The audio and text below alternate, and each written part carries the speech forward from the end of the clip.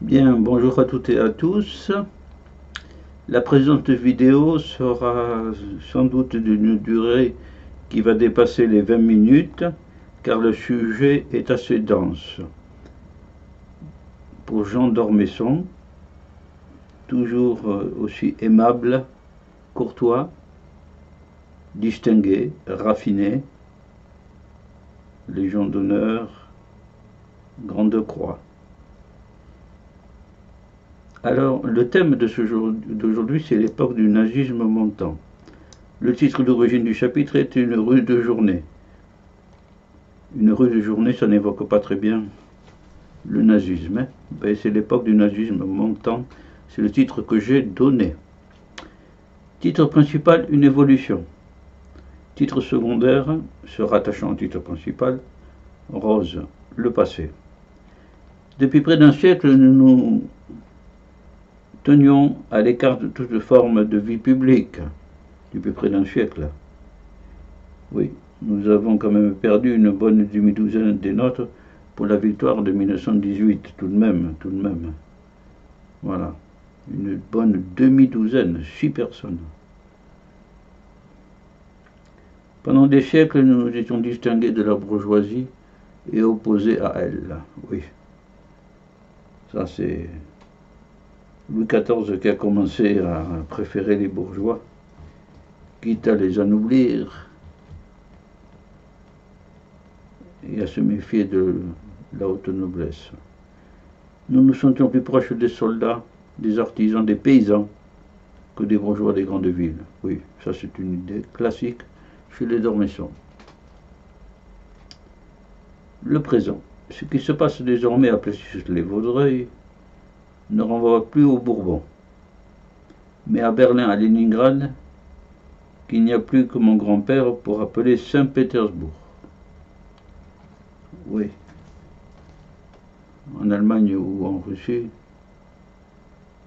il y a encore euh, peut-être des traditions.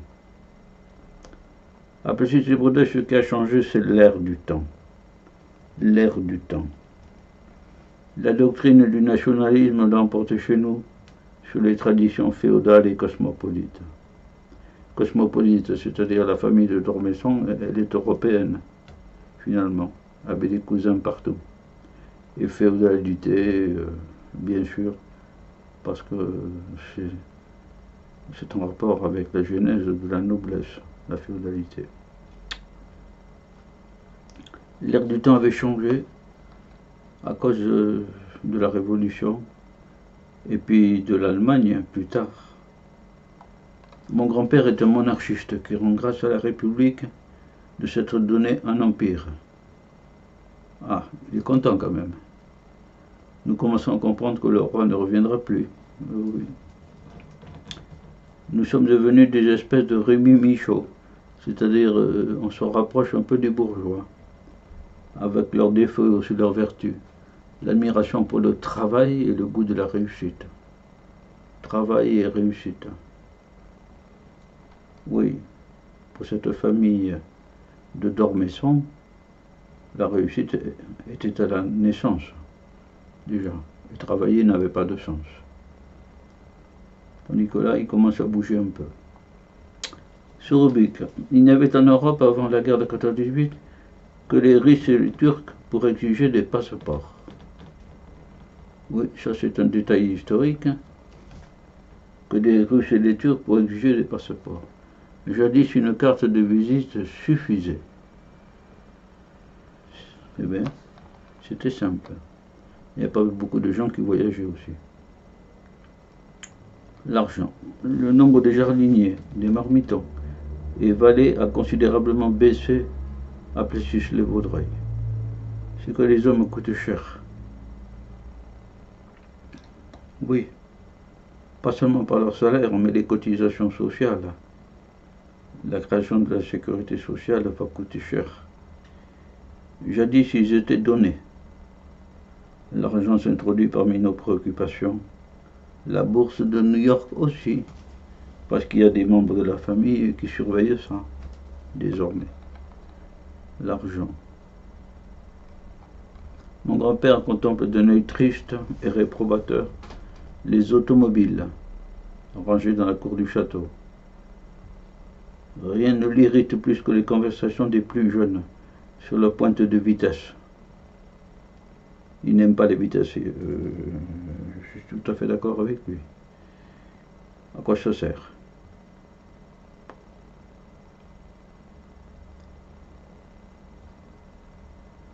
Il doit y avoir une citation sur ça aussi, mais je ne l'ai pas en tête. Nous sommes entrés dans les temps où rien ne se répète plus. Oui, évidemment. Les repas simples. En 1840, le dîner quotidien d'une famille française de la plus haute bourgeoisie comporte rarement plus d'un plat entre le potage et le fromage. Ah. Entre le potage et le fromage. Euh, petit détail, quand on voit les menus de Napoléon Ier et de sa cour, euh, là, c'est la belle époque pour, la gastronomie. Hein.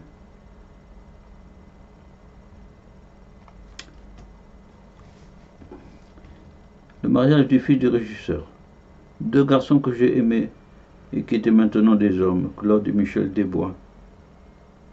Ce dernier, le fils du régisseur, a épousé ma sœur Anne. Le régisseur a épousé une dormesson. Ce fut un mariage bourgeois à la vieille chapelle de Plessis-les-Vaudreuils. Au moins à Plessis-les-Vaudreuils. Je revois 1932, ma petite sœur qui se marie. Eh bien, il y a les châtelains du voisinage, le peintre, le sculpteur, les braconniers sur leur 31, et tout le monde est heureux. Oui, encore une île au milieu du temps qui passe. Voilà, un mariage dans la vieille chapelle. Ce mariage entre la famille ducale et le fils du régisseur a soulevé des questions de protocole quant au père du marié. Celui-ci a refusé les dérogations que le grand-père allait lui accorder.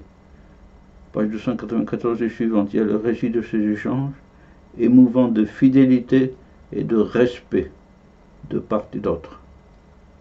Oui, c'est beau ça, c'est beau. M. Desbois père a tout au plus accepté de s'asseoir à la table de pierre, tout au plus accepté de s'asseoir à la table de pierre avec un immense respect de la mémoire des morts. Ce que le grand-père a fort bien accepté. Courtoisie. Parce qu'il savait tenir sa place. M. Desbois. Rubrique Oncle Paul. L'oncle Paul ne savait rien. Une ignorance encyclopédique. En 1929, le suicide de l'oncle Paul, l'aîné de la famille, à la suite de l'effondrement de Wall Street et la ruine afférente. Ben, c'est malheureux.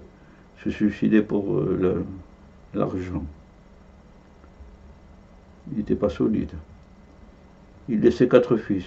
Pierre était l'aîné. Ah, c'est lui le, celui qui remplacera le, grand-père. Rubrique Philippe, l'extrême droite.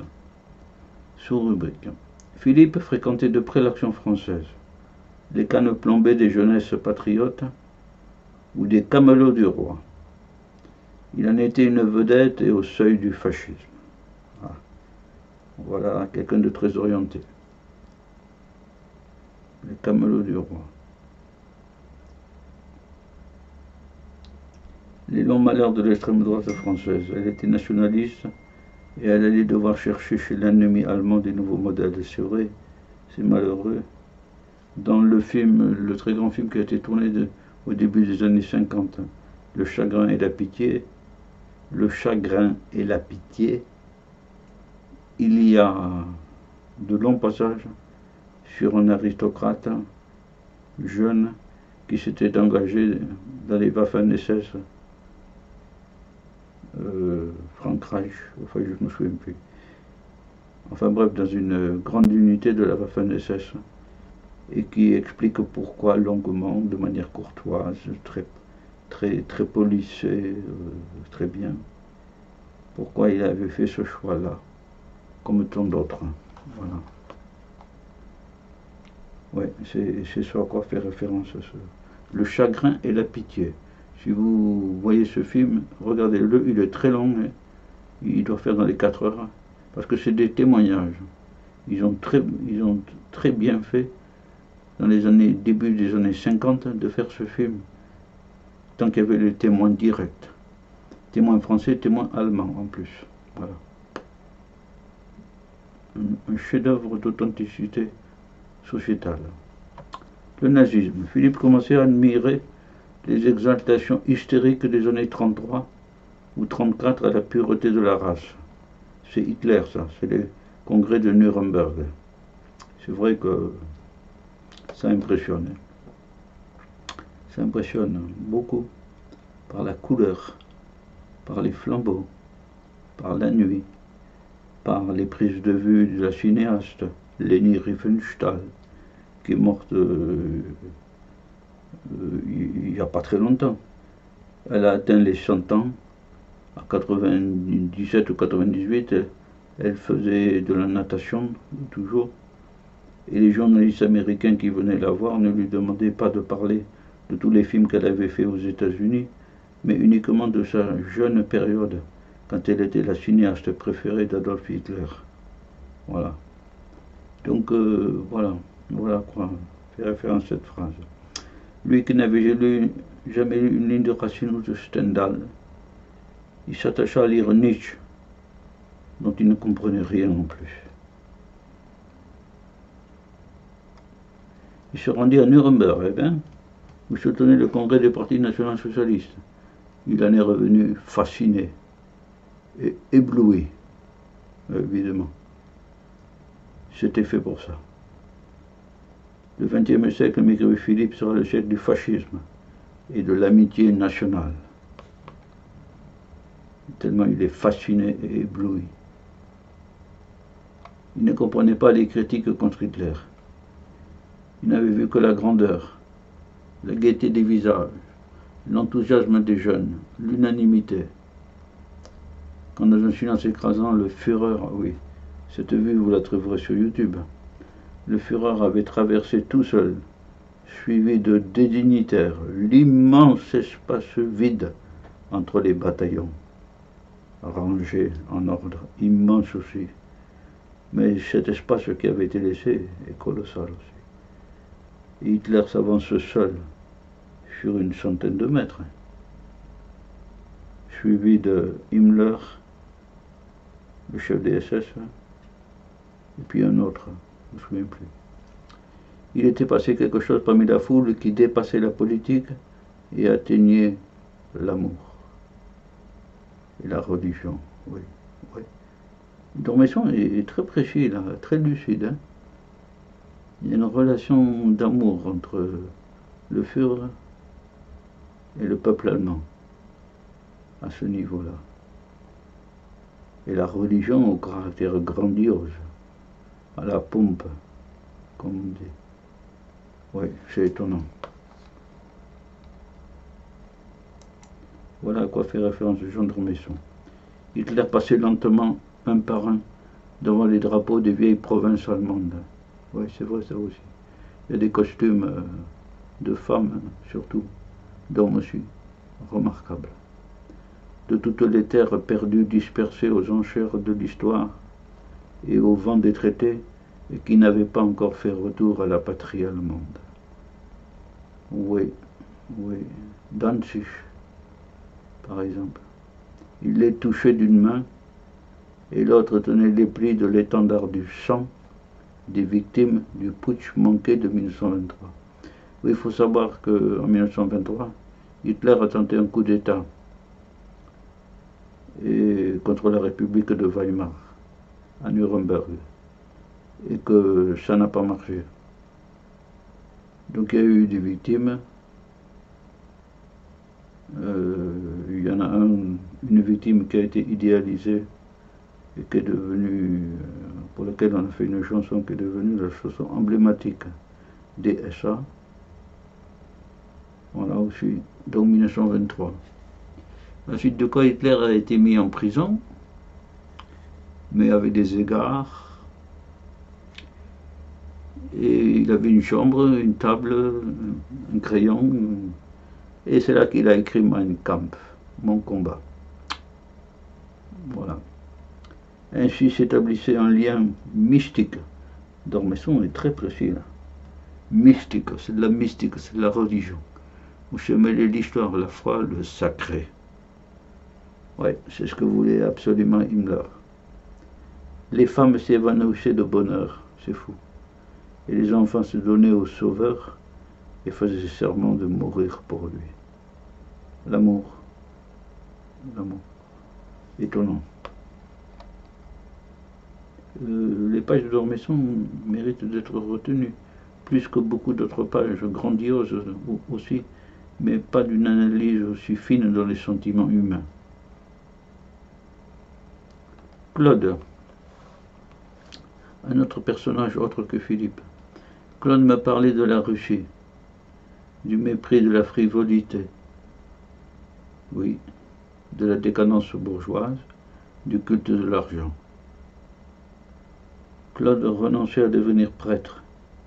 Il était plus sombre et plus violent. Il s'opposait à son frère Philippe, qu'on vient de voir là. C'est une autre personnalité, un autre frère.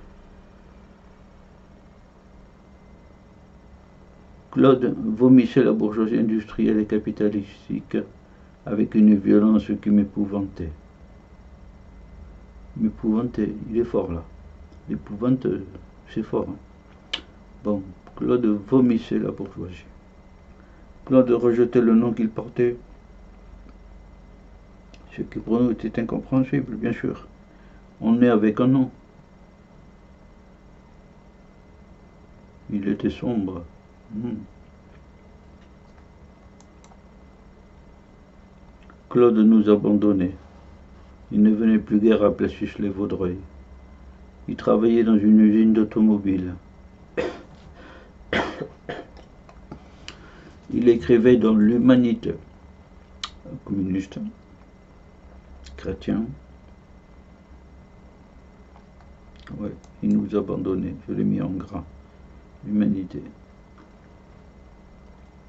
Voilà pour les deux frères. André Gide maintenant. Claude et moi admirions André Gide. Philippe et la tante Gabrielle, Philippe, ça se comprend, la tante Gabrielle aussi le, détestait. Gabrielle citait son ami Picabia, le peintre. Si vous lisez André Gide de tout haut pendant dix minutes, vous sentirez mauvais de la bouche. Ah bon? André Gide de tout haut, vous sentirez mauvais de la bouche. Hein Picabia. Bon, on apprend tous les jours. Oui, j'ai lu ça, je l'ai recopié, mais je ne l'avais pas mémorisé. Ça me fait du bien de, revoir ça aussi. voyez de la bouche. Picabia, André Jude. Jean d'Ormesson est le grand-père. Maintenant. En 1934, l'année même où Philippe partait pour Nuremberg, Claude partit pour Moscou. J'étais resté avec mon grand-père. Heureusement qu'il a un peu de monde autour de lui. Je partageais la solitude du vieillard qu'il était devenu. Je nous revois tous les deux se promenant le soir, c'est beau ça, le long de chemins immuables qui passaient devant le chenil devant l'élevage des faisans, devant deux maisons de garde et devant les étangs. C'est beau. Ou pendant l'hiver, quand il fait froid, devant l'immense cheminée, où mon grand-père restait assis pendant des heures à regarder les flammes surgir des margotins craquants. C'est très, très riche en vocabulaire et ça fait tout un paysage. Des promenades le soir et puis l'immense, l'immense cheminée. Immense, grande cheminée. Et notre dernière revue, le grand-père ne bougeait pas. Il avait connu le Second Empire, Napoléon III, le désastre de Sedan, la Commune de Paris, le retour manqué du roi, l'affaire du comte de Chambord et le drapeau blanc, la Troisième République, l'affaire Dreyfus, l'alliance russe vers, vers 1990, vers, 1890.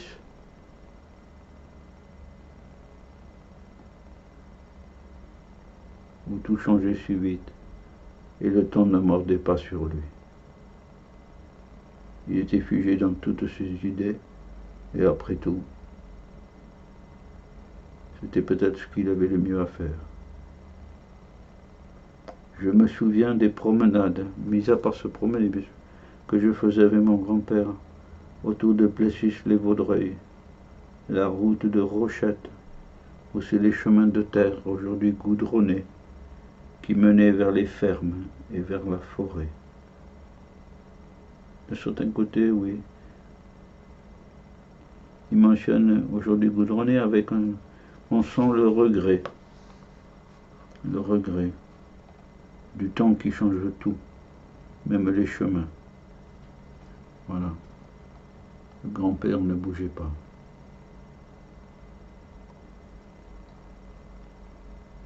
Eh bien, c'est très beau. Monsieur Dormesson, merci d'avoir écrit toutes ces pages. Merci à vous dans l'au-delà. Vous avez raison quand vous dites que le livre perpétue la mémoire des écrivains. Voilà. Et maintenant, je vous dis au revoir à toutes et à tous, dans le cadre toujours de la nébuleuse du cheval, sur fond galactique étoilé, magnifique.